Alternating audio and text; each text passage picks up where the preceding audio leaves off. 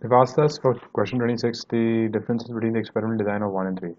If you look at 1 and if you look at experiment 3, the changes that differ is valve pressure for 1 and the capillary length for 3. If you look at the options, uh, A and B are directly eliminated because capillary, capillary diameter was not varied. It was 0.03 millimeters for both of them for experiment 1 as well as experiment 3.